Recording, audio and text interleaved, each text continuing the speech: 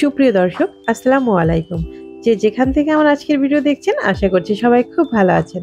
সবাইকে শুভেচ্ছা জানাচ্ছি নতুন একটি এপিসোডে আজকে তৈরি করে দেখাবো কাঁচা আমের, আমার তৈরি সব থেকে সেরা আচারটি। কাঁচা আমের স্পাইসি আচার। এটা দেখতে যেমন লোভনীয়, খেতে কিন্তু অসাধারণ। আমার কাছে কিন্তু সব থেকে প্রিয় আচার এটা। তবে আমার মনে হয়, আমারই মতো যারা আচার লাভার, তারা অবশ্যই এই আচারটা বেশ পছন্দ করবেন। আজকে আপনাদের সাথে আমার এই পছন্দের আচারের রেসিপিটি শেয়ার করছি।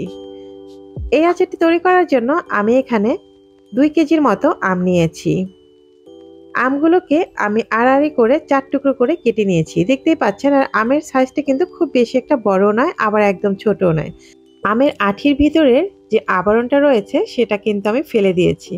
একটা একটা করে সমস্ত আবরণগুলো ফেলে দিতে হবে। এরপর আমি একটু মোটা টাইপের একটি হাঁড়ি নিয়েছি। এর মধ্যে পানি নিয়েছি প্রায় দুই লিটারের মতো। পানির মধ্যে চুন দিয়ে দিয়েছি। এটা ঝিনুক চুন অথবা যে কোনো পান খাবার যে চুনটা রয়েছে, সেই চুনটা ব্যবহার করবেন। আমি এখানে দুই চা চামচ পরিমাণ চুন দিয়েছি। এরপর চুনটাকে ভালো করে পানির সাথে মিক্স করে আমগুলোকে ভিজিয়ে রাখছি। আমগুলোকে ভিজিয়ে রেখেছি প্রায় চার ঘণ্টার মতো। এভাবে চুনের পানিতে আমগুলো ভিজিয়ে রাখার কারণে আমগুলো কিন্তু ভেঙে যাবে না। আর যদি আপনি চান যে একটু ভেঙে নেবেন, তাহলে সেটা একটু থেতলে নিলেও পারবেন। আমি চার ঘণ্টা পর চুনের পানি থেকে আমগুলো উঠিয়ে নিয়ে ভালো করে ধুয়ে নিয়েছি। অবশ্যই এখানে আমটা ভালো করে ধুয়ে এরপর পানিটাকে ঝরিয়ে নিতে হবে। এরপর আমি চলে যাচ্ছি আচার তৈরি করার জন্য। এখানে একটি প্যানের মধ্যে আমি প্রায় পাঁচশো গ্রামের মতো সরিষার তেল ব্যবহার করেছি। তেলটা হালকা একটু গরম করে নিয়ে দিয়ে দিয়েছি মৌরি অথবা মিষ্টি সস, যেটা বলেন সেটা এক টেবিল চামচ পরিমাণ। সেই সাথে দিয়েছি গোটা পাঁচফোড়ন এক চা চামচ পরিমাণ। এরপর দিয়েছি রসুন বাটা হাফ কাপ পরিমাণ। এরপর দিয়ে দিচ্ছি সাদা সরিষা বাটা হাফ কাপ পরিমাণ। সমস্ত উপকরণগুলো দিয়ে ভালো করে একটু সরিষার তেলের সাথে ভেজে নিচ্ছি। হালকা একটু ভেজে নিয়ে এরপর দিয়ে দিচ্ছি লাল মরিচের গুঁড়ো, এক টেবিল চামচ পরিমাণ। এরপর দিয়ে দিচ্ছি চিনি। এখানে আমি মেজারমেন্ট কাপের তিন কাপ পরিমাণ চিনি ব্যবহার করছি, তবে এটাই যে শেষ তা কিন্তু নয়।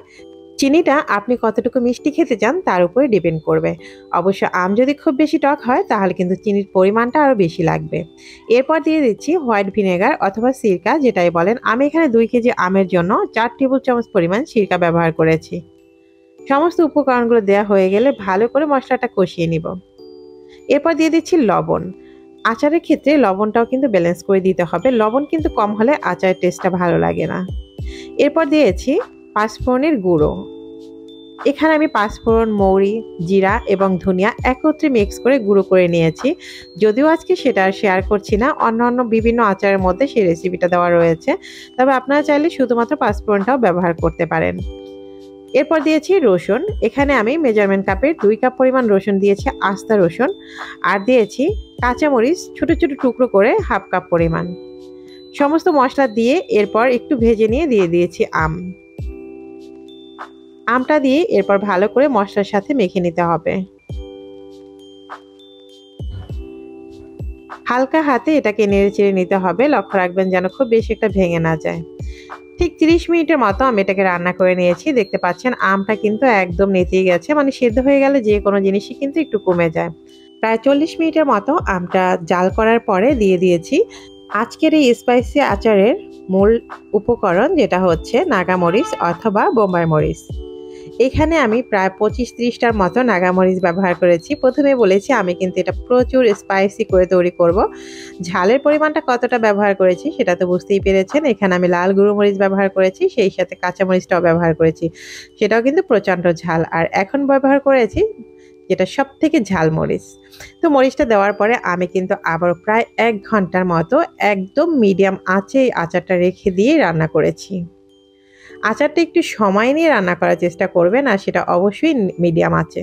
আরেকটি কথা বলে রাখছি, আচার যখন আপনার চুলায় রান্না করবেন, তখন এটার নিচে অবশ্যই কোনো একটি মোটা তলাযুক্ত প্যান দিয়ে নেবেন অথবা আমরা যে রুটি ভাজার জন্য তাওয়া ব্যবহার করি সেই ধরনের তাওয়া দিয়ে নেবেন। এতে করে আচারটা নিচের অংশ দিয়ে ধরে যাবে না।